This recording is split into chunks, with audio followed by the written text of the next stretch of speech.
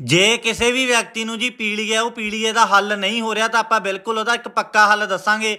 ਜਾਂ ਤੁਹਾਡੇ ਲੀਵਰ ਦੇ ਵਿੱਚ ਕੋਈ ਦਿੱਕਤ ਆ ਗਈ, ਲੀਵਰ ਦੇ ਜਿਹੜੇ ਓਟੀਪੀਟੀ ਨੇ, ਉਹ ਘਟ ਜਾਂਦੇ ਨੇ ਜਾਂ ਵੱਜ ਜਾਂਦੇ ਨੇ, ਭੁੱਖ ਨਹੀਂ ਲੱਗਦੀ, ਪਿਸ਼ਾਬ ਪੀਲਾ ਆਉਂਦਾ ਤਾਂ ਉਹਦਾ ਬਿਲਕੁਲ ਪੱਕਾ ਹੱਲ ਹੈ ਜੀ, ਬਿਲਕੁਲ ਪੱਕਾ ਤਰੀਕਾ ਹੈ, ਪੁਰਾਣੇ ਬਜ਼ੁਰਗਾਂ ਦਾ ਦੱਸਿਆ ਹੋਇਆ। ਬਾਹਲਾ ਜ਼ਿਆਦਾ ਜ਼ਬਰਦਸਤ ਫਾਰਮੂਲਾ ਹੈ। ਸਭ ਤੋਂ ਪਹਿਲਾਂ ਤਾਂ ਜੀ ਆਪਾਂ ਨੂੰ ਇਮਲੀ ਚਾਹੀਦੀ ਹੈ। ਇਮਲੀ ਦੇ ਆਪਾਂ ਪੀਸ ਤੋੜ ਤੋੜ ਕੇ ਇੱਕ ਪਲੇਟ ਦੇ ਵਿੱਚ ਕੱਢ ਕੇ ਰੱਖ ਲਾਂਗੇ। ਪੂਰੀ ਵੀਡੀਓ ਤੁਸੀਂ ਐਂਡ ਤੱਕ ਦੇਖ ਲਓ, ਤੁਹਾਡਾ ਬਹੁਤ ਜ਼ਿਆਦਾ ਵੱਡਾ ਕੰਮ ਹੋਣ ਵਾਲਾ ਹੈ। ਮੈਂ ਕਹਿੰਦਾ ਵੀ ਯਾਰ, ਜੇ ਤੁਹਾਨੂੰ ਲੀਵਰ ਦੀ ਕੋਈ 1% ਵੀ ਕੋਈ ਦਿੱਕਤ ਹੈ ਤਾਂ ਉਹ ਵੀ ਇਹ ਜਿਹੜਾ ਫਾਰਮੂਲਾ ਹੈ, ਸਿਰਫ 3 ਦਿਨਾਂ ਦੇ ਵਿੱਚ ਖਤਮ ਕਰੂਗਾ। ਕੋਈ ਮਹੀਨਿਆਂ ਦੀ ਡੋਜ਼ ਲੈਣ ਦੀ ਲੋੜ ਨਹੀਂ ਹੈਗੀ। ਇਸ ਤੋਂ ਬਾਅਦ ਜੀ ਆਪਾਂ ਨੂੰ ਆਲੂ ਬੁਖਾਰੇ ਚਾਹੀਦੇ ਨੇ ਸੁੱਕੇ। ਇਸ ਤਰੀਕੇ ਦੇ ਆਪਾਂ ਨੇ ਆਲੂ ਬੁਖਾਰੇ ਕੱਢ ਕੇ ਵੀ ਕਿਸੇ ਵੀ ਪਲੇਟ ਦੇ ਵਿੱਚ ਜਾਂ ਕਿਸੇ ਭਾਂਡੇ ਦੇ ਵਿੱਚ ਰੱਖ ਲੈਣੇ ਨੇ, ਠੀਕ ਹੈ? ਇਹ ਆਪਾਂ ਨੂੰ ਪੰਸਾਰੀ ਦੀ ਦੁਕਾਨ ਤੋਂ ਮਿਲ ਜਾਣਗੇ। ਇਹਨਾਂ ਦੋਨਾਂ ਚੀਜ਼ਾਂ ਦੇ ਬਹੁਤ ਜ਼ਿਆਦਾ ਗੁਣ ਨੇ। ਲੀਵਰ ਦੇ ਵਿੱਚ ਤਾਂ ਬਾਲੇ ਜ਼ਿਆਦਾ ਗੁਣ ਨੇ। ਇਸ ਤੋਂ ਬਾਅਦ ਜੀ ਆਪਾਂ ਨੂੰ ਇਸ ਤਰੀਕੇ ਦਾ ਇੱਕ ਛੋਟੇ ਸਾਈਜ਼ ਦਾ ਕੋਰਾ ਜਾਂ ਘੜਾ ਚਾਹੀਦਾ ਉਹਦੇ ਵਿੱਚ ਆਪਾਂ ਜਿਹੜਾ ਵੀ ਆਪਣੇ ਘਰੇ ਆਪਾਂ ਪਾਣੀ ਪੀਣ ਦੇ ਵਿੱਚ ਯੂਜ਼ ਕਰਦੇ ਆ ਉਹਦੇ ਵਿੱਚ ਆਪਾਂ ਐਡ ਕਰਾਂਗੇ, ਠੀਕ ਹੈ? ਉਹੀ ਪਾਣੀ ਸੇਮ ਆਪਾਂ ਇਹਦੇ ਵਿੱਚ ਐਡ ਕਰ ਲਾਂਗੇ ਜੀ, ਇਸ ਤਰੀਕੇ ਨਾਲ ਆਪਾਂ ਨੇ ਇਹਦੇ ਵਿੱਚ ਪਾ ਲਿਆ ਪਾਣੀ। ਇਸ ਤੋਂ ਬਾਅਦ ਦੋ ਪੀਸ ਤਾਂ ਜੀ ਆਪਾਂ ਇਹਦੇ ਵਿੱਚ ਜਿਹੜੀ ਆਪਣੇ ਕੋਲੇ ਇਮਲੀ ਪਈ ਹੈ, ਇਹਦੇ ਐਡ ਕਰਾਂਗੇ ਤੇ ਦੋ ਹੀ ਪੀਸ ਆਪਾਂ ਇਹਦੇ ਵਿੱਚ ਜਿਹੜੇ ਸੁੱਕੇ ਆਲੂ ਬੁਖਾਰੇ ਨੇ, ਇਹਦੇ ਆਪਾਂ ਇਹਦੇ ਵਿੱਚ ਐਡ ਕਰਾਂਗੇ, ਠੀਕ ਹੈ ਜੀ?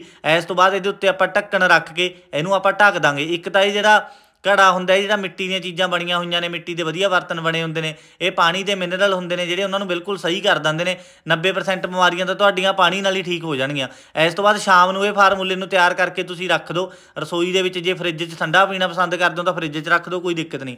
ਸਵੇਰੇ ਉੱਠਣਾ ਤੁਸੀਂ ਨਿਰਣੇ ਕਾਲਜੇ ਇਸ ਤੋਂ ਬਾਅਦ ਆ ਦੋਨੇ ਚੀਜ਼ਾਂ ਚੰਗੇ ਤਰੀਕੇ ਨਾਲ ਭਿੱਜ ਗਈਆਂ, ਆਪਣੀ ਇਹਨਾਂ ਨੂੰ ਹੁਣ ਬਾਹਰ ਕੱਢ ਲਾਂਗੇ। ਇਮਲੀ ਨੂੰ ਵੀ ਆਪਾਂ ਬਾਹਰ ਕੱਢ ਲਾਂਗੇ ਸੁੱਕੇ ਜਿਹੜੇ ਆਪਣੇ ਆਲੂ ਬੁਖਾਰੇ ਨੇ, ਇਹਨਾਂ ਨੂੰ ਵੀ ਆਪਾਂ ਬਾਹਰ ਕੱਢ ਲਾਂਗੇ। ਕਿਸੇ ਵੀ ਭਾਂਡੇ ਦੇ ਵਿੱਚ, ਕਿਸੇ ਕੌਲੇ ਦੇ ਵਿੱਚ, ਕਿਸੇ ਵੀ ਬਰਤਨ ਦੇ ਵਿੱਚ ਤੁਸੀਂ ਇਹਨਾਂ ਨੂੰ ਕੱਢ ਲੈਣਾ, ਠੀਕ ਹੈ?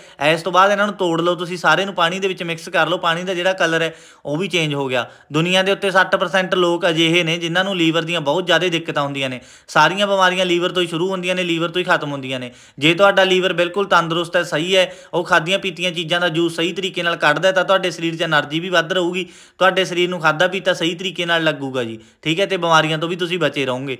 ਇਸ ਤੋਂ ਬਾਅਦ ਇਹਨੂੰ ਸਾਰੇ ਨੂੰ ਆਪਾਂ ਨੇ ਇਸ ਤਰੀਕੇ ਨਾਲ ਹੱਥਾਂ ਨਾਲ ਹੀ ਚੰਗੇ ਤਰੀਕੇ ਨਾਲ ਮਿਕਸ ਕਰ ਲੈਣਾ। ਸਵੇਰੇ ਬਿਲਕੁਲ ਨਿਰਨੇ ਕਾਲਜੇ ਦਾ ਕੰਮ ਹੈ ਤੁਹਾਡਾ ਜੀ। ਠੀਕ ਹੈ, ਇਸ ਤੋਂ ਬਾਅਦ ਇਹਨੂੰ ਕਿਸੇ ਬਰਤਨ ਦੇ ਵਿੱਚ ਕੱਢ ਲਓ, ਕੰਚ ਦੇ ਗਲਾਸ 'ਚ ਕੱਢ ਲਓ, ਚਾਹੇ ਦੂਜੇ ਤਰੀਕੇ ਨਾਲ ਕਿਸੇ ਹੋਰ ਭਾਂਡੇ 'ਚ ਕੱਢ ਲਓ ਸਾਰੇ ਨੂੰ ਤੁਸੀਂ ਪੁਣ ਲੈਣਾ, ਠੀਕ ਹੈ। ਜਿੰਨੇ ਵੀ ਇਹਦੇ ਵਿੱਚ ਆਪਾਂ ਨੂੰ ਗੁਣ ਸੀ, ਉਹ ਇਹਦੇ ਵਿੱਚ ਆਪਣੇ ਪਾਣੀ ਦੇ ਵਿੱਚ ਆ ਗਿਆ ਗਲਾਸ ਦੇ ਵਿੱਚ ਆ ਗਏ। ਇਸ ਤੋਂ ਬਾਅਦ ਤੁਸੀਂ ਸਵੇਰੇ ਉੱਠ ਕੇ ਨਿਰਣੇ ਕਾਲਜੇ ਨਾਰਮਲ ਪਾਣੀ ਪੀ ਸਕਦੇ ਹੋ, ਕੋਈ ਚੱਕਰ ਨਹੀਂ, ਚਾਹ ਵਗੈਰਾ ਨਹੀਂ ਪੀਣੀ। ਨਿਰਣੇ ਕਾਲਜੇ ਤੁਸੀਂ ਇੰਨਾ ਕਿ ਇਹਨੂੰ ਪੀ ਲੈਣਾ, ਠੀਕ ਹੈ। ਇਹ ਅੱਧੇ ਗਲਾਸ ਦੇ ਸਮਥਿੰਗ ਹੈ।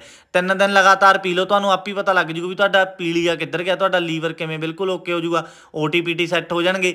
ਤੇ ਤੁਸੀਂ ਇਹ ਡੋਜ਼ ਨੂੰ ਮਹੀਨੇ ਦੇ ਵਿੱਚ, ਜੇ 4-5 ਵਾਰੀ ਇੱਕ ਨਾਰਮਲ ਵਿਅਕਤੀ ਵੀ ਵਰਤੂਗਾ, ਤਾਂ ਉਹਦਾ ਲੀਵਰ ਕਦੇ ਖਰਾਬ ਨਹੀਂ ਹੋਊਗਾ, ਬਿਲਕੁਲ ਤੰਦਰੁਸਤ ਰਹੂਗਾ। ਵੀਡੀਓ ਨੂੰ ਅੱਗੇ ਵੱਧ ਤੋਂ ਵੱਧ ਸ਼ੇਅਰ ਕਰ ਦਿਓ ਯਾਰ, ਤਾਂ ਕਿ ਕਿਸੇ ਨਾ ਕਿਸੇ ਦਾ ਭਲਾ ਹੋ ਸਕੇ।